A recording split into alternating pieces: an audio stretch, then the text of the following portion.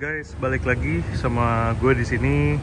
Udah lama nggak upload video dan kali ini ada the new BMW X7.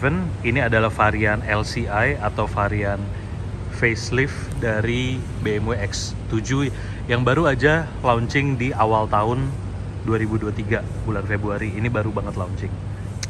Well, kalau dilihat dari depan, ini banyak banget perubahan yang signifikan perbedaannya, terutama dari bagian lampu. Karena sekarang lampunya modelnya dua layer ya, atas bawah. Dan lampu yang atas itu adalah untuk uh, DRL atau daytime running light dan bisa berubah jadi lampu sen juga. Untuk lampu yang bawah dia ada dua buah proyektor twin headlights kalau di BMW. Nah kemudian untuk bagian grill uh, masih pakai active kidney grill yang bisa buka tutup sendiri tapi sekarang ada tambahan kita sebut dengan teknologi iconic glow yang mana grillnya itu bisa nyala. Jadi ada lampu ambient light di dalam grill dan kalau malam hari itu keren banget bisa nyala. Nah di bagian bawah bumper itu ada radar yang mana nantinya radar ini uh, digunakan sebagai radar untuk active cruise control with stop and go function. Jadi kalau kita naik X7, uh, mobil ini bisa jaga jarak dengan kendaraan di depan. Dan juga udah bisa ngikutin marka jalan. Jadi kita bisa lepas setir di tol. Nah kemudian kalau dari bagian samping, sekarang velgnya uh, berubah. Oh ya karena X7 sekarang variannya M Sport ya teman-teman ya jadi desain body kit bumper depan belakang itu lebih agresif, lebih tajam desainnya. Nah ini dari segi velg, velg yang digunakan itu ring 21 285 45 R21 ukuran bannya.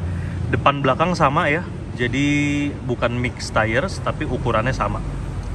Nah ini adalah M uh, wheels jadi velg ini hanya tersedia di varian M Sport styling 754M B color. Nah, terus kalau kita lihat di bagian sistem pengereman itu remnya udah pakai M Sport calipers ya warna biru, ada emboss logo M. Dan ini bukan cuma kaliper doang, tapi memang braking sistemnya itu spesial. Kita sebut dengan teknologi M Sport Brakes. Jadi lebih pakem, lebih canggih.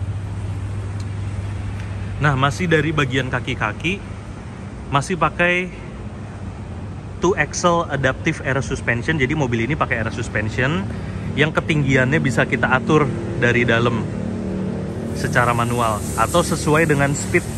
Kalau kita kenceng, kita ngebut mobilnya turun satu level. Kalau kita normal dia naik. Nah, yang spesial dari X7 LCI kali ini adalah ada teknologi rear wheel steering. Kita sebutnya integral active steering yang mana ban belakang ini bisa belok. Jadi nggak cuma ban depan yang belok tapi ban belakang juga bisa ikutan belok.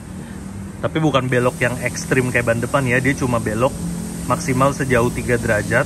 Jadi kalau ban depan belok kiri ban belakang beloknya ke kanan. Ini untuk apa? Ini untuk mempermudah saat manuver karena mobil ini kan panjang ya. Jadi otomatis radius putarnya gede. Nah, dengan teknologi rear wheel steering, otomatis radius putarnya jadi lebih kecil. Nah, ini tampak belakang dari X7 LCI. Memang kalau dari belakang nggak terlalu banyak perubahan. Cuma yang paling kelihatan itu ada di bagian lampu. Jadi lampunya sekarang 3D dan punya desain baru ya. Kalau lihat bagian sampingnya teman-teman, ini ada kayak aksen-aksen gitu terus ada tulisan BMW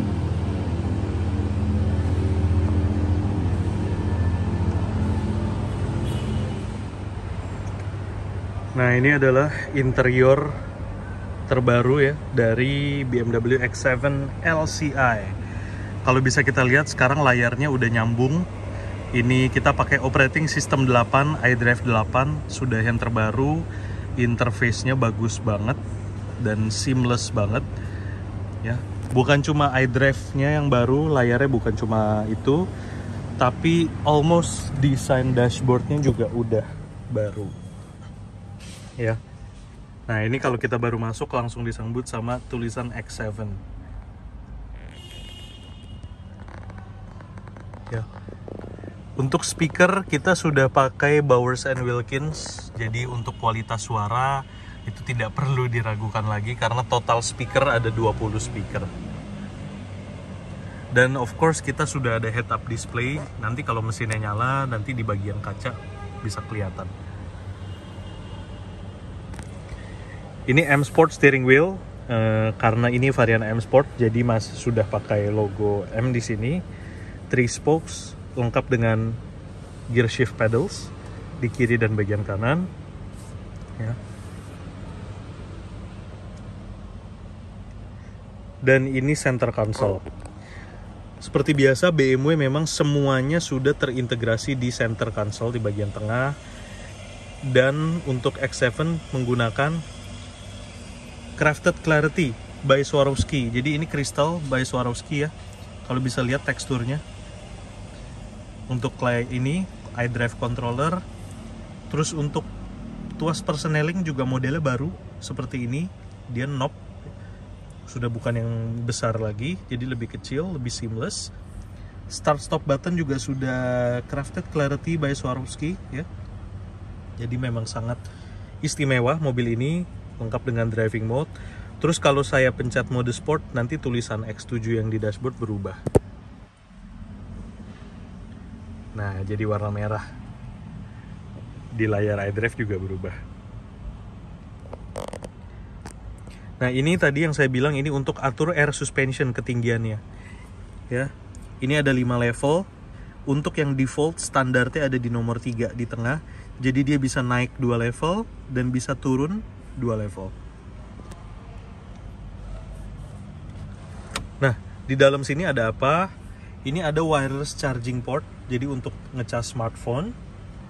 Terus ada cup holders yang mana cup holders ini bisa dingin bisa panas ya ini bisa dingin ini bisa panas. Bisa menjaga suhu minuman anda. Itu ini sangat berguna. Sekarang mari kita coba tutup.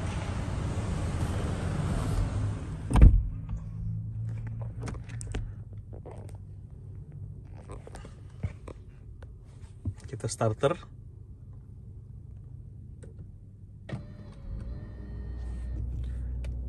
Nah, ini ada salah satu hal yang spesial ya dari X7 ini. Karena sekarang X7 ini sudah pakai teknologi mild hybrid ya. Jadi ada tambahan uh, motor elektrik 48 volt yang mana motor elektrik itu menambah efisiensi ya jadi of course konsumsi bahan bakarnya jadi lebih irit terus ketika kita starter hampir nggak ada suara cranking. Hampir nggak ada suara nggak crank jadi pencet start langsung nyala mesinnya. Itu bener-bener amazing. Ya ini tampilan dari iDrive 8 teman-teman. Ini sangat seamless interface-nya bagus sekali. Hampir nggak ada ngelek-ngelek ya. Sudah Apple CarPlay wireless, Android Auto wireless, ya ini ambient lights bisa diganti macam-macam warnanya. Ini karena kita di sport kalau kita pindah ke comfort ambient lightnya baru bisa disetting. Ya jadi mobil ini sudah sangat canggih ya. Ini ambient lightnya sekarang warna putih pearl. Ada macam-macam.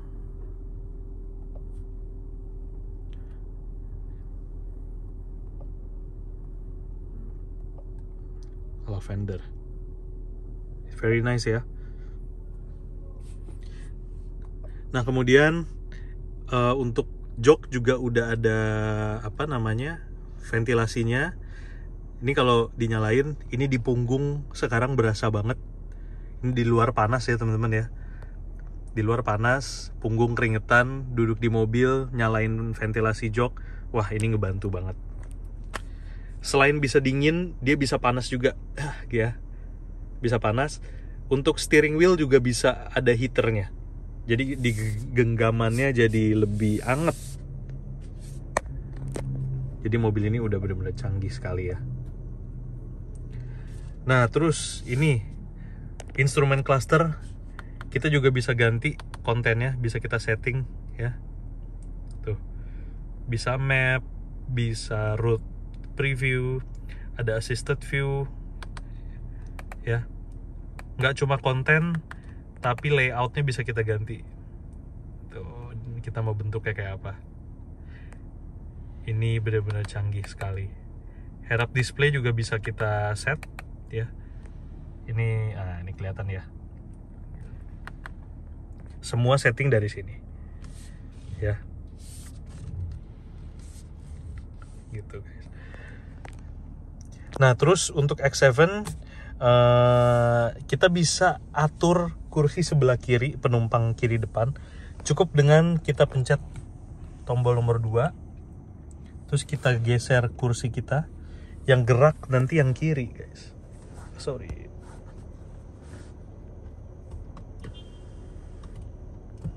Nah kelihatan ya? Canggih ya? Oh ya kita bicara soal kursi kursi yang digunakan itu bahannya Sensafin perforated ya. Jadi ini perforated ada ventilasi. Dan Sensafin ini adalah vegan leather ya.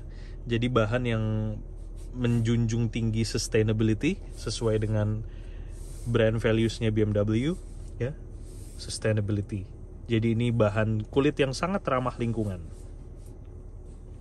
Dan diamond stitch ini membuat tampilan dari joknya lebih mewah guys nggak cuma jok tapi bahan plafon sendiri sudah alcantara. Ya bisa kelihatan ya. Ini ya bisa kelihatan ya. Ini alcantara. Jadi mewah sekali ya. Sudah panoramic sunroof. Even sampai ke baris ketiga sudah ada sunroofnya. Nah ini tampilan dari second row row kedua dari BMW X7 ya. Untuk ke belakang itu bisa pakai yang di sini. Nanti dia otomatis maju.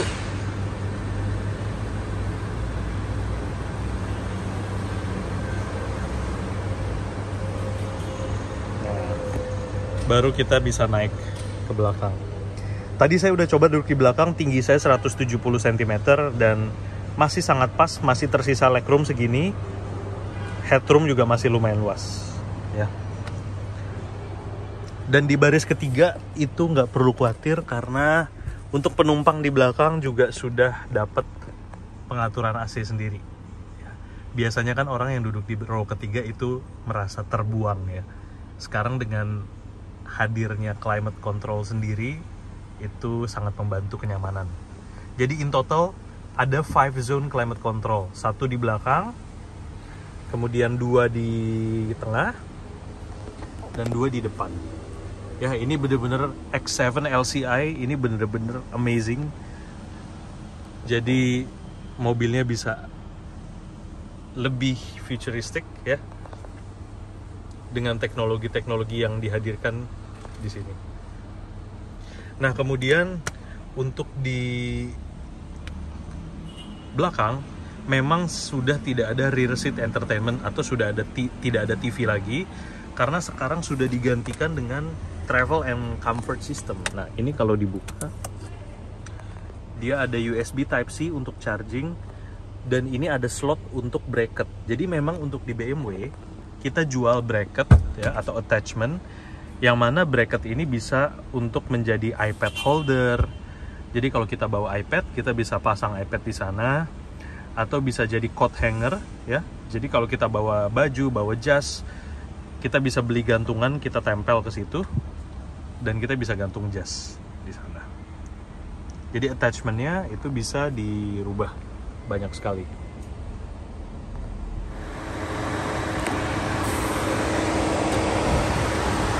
Nah ini mesin dari BMW X7 terbaru. Kita menggunakan mesin twin power turbo 3000 cc 6 silinder segaris yang menghasilkan tenaga sebesar 381 horsepower dan torsi 520 Nm. ditambah teknologi mild hybrid, ditambah teknologi 48 volt battery electric motor ya.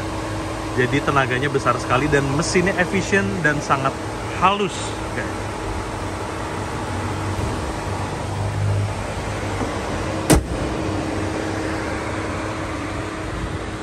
Oke. Oke guys, jadi mungkin segini dulu video untuk X7 nggak lama-lama, hanya produk highlights.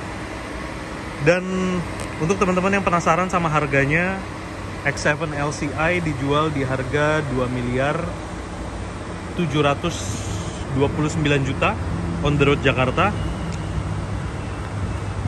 So thank you for watching. Jangan lupa like and subscribe. Bye bye.